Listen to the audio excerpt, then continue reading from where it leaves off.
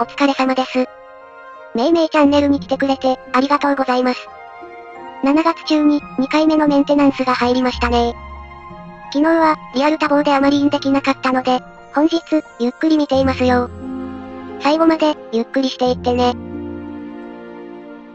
ということで、今回は武将の追加がメインでしたね。水郷武将で、ちょちょ。七札武将で、祝友ですか。個人的には、水郷武将には手が届かないので、祝友さんに期待してます。そして、毎回恒例だけど、武将が追加されたら、専用人気、自衛、名馬も同時に追加されますね。それでは、個人的な感想をいきます。ちょちょさん、受動スキルで5秒間隔ですな。非常に速い感覚でスキルが発動しますね。領域内の武将のダメージを請け負ってくれるので、本人というよりは、近くの武将が硬くなるイメージかな。この人がいるところには、攻め込みたくないですな。覚醒すると、遠くからのダメージも吸収してくれる。多分、どんなに頑張っても、魚ョは倒せないイメージだね。ま、そのうち、対抗できる武将が実装されるんだろうけど、いよいよ予毛先行が潰されちゃいますな。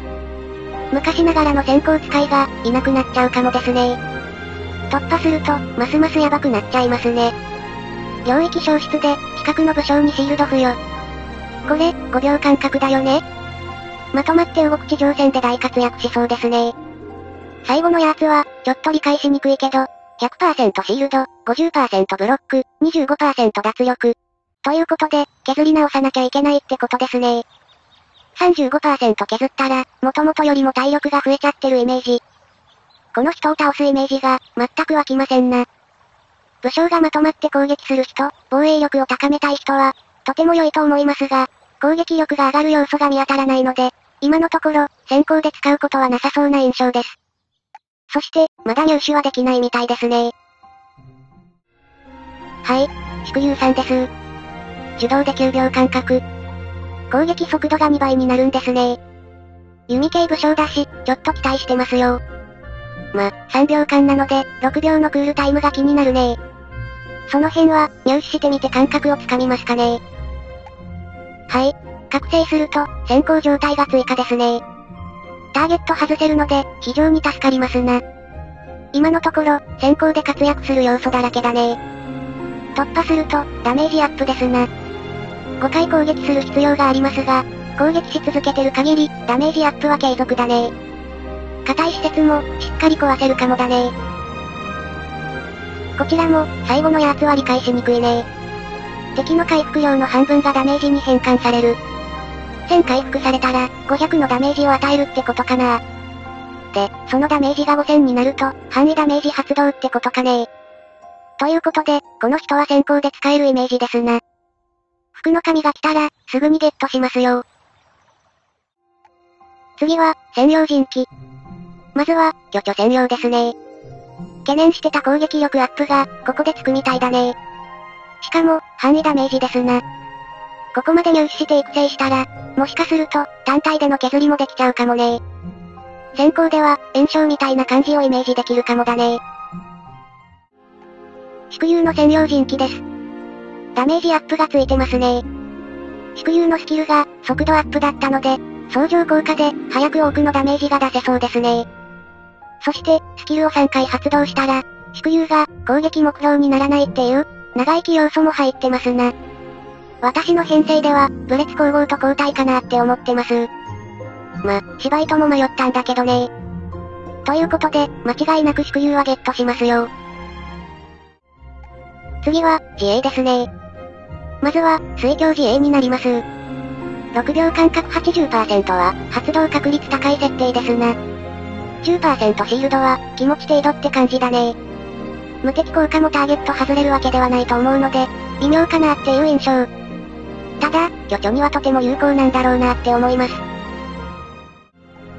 こちらは、戦蔵さんですね。これも、発動確率は高いですね。攻撃力アップは魅力的だねさらに、クリティカルもアップしちゃうんだね祝友用に作ったんだろうけど、他の武将でも良さそう。名馬は、1体の追加ですね。5秒間先行して、1万2000シールドを獲得。こいつは、ぜひゲットしておきたいですね体力に不安のある武将を乗せてあげましょう。または、硬い武将を乗せると、より長生きしますね溜め込んだ綱を、全部使ってゲットしちゃおうかなって、悩むくらい良さそうなイメージです。はい。あとは国運宝物の追加と、工場調整ですねここで、運営さんはまたやらかしてますよねメンテナンス後に、確認することが可能って書いてますよねということで、見に行ってみましょ。はい、来ました。一応、追加はされてますねそれでは、詳細を確認してみますよ。はい、詳細なんて、確認できませんね未開放だから、楽しみに待ってろって言われます。メンテナンス後国運宝物にて詳細を確認することが可能。えー、っと、不可能ですねこういうところから、ユーザー離れが進むんですよ。2年前に、買収の話が出てて、今回のメンテナンスで、タイトルに新会社の名前が入りましたよね今回は、恒例の不具合修正がなかったし、これからは、良い方向に向かってくれることを、期待したいですねということで、今回は新武将と付属するものの追加でした。巨著も祝友も、強そうな印象だったし、今は、水郷の証もゲットしやすい環境なので、ゲームが楽しくなるかもしれませんね。私は、祝友、祝友人気、戦像、新名馬を、優先してゲットしていきたいと思ってます。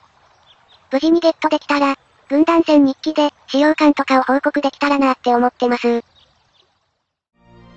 ちなみに、工場調整の周年商店についてなんですが、変更前を見てないので、なんとも言えませんね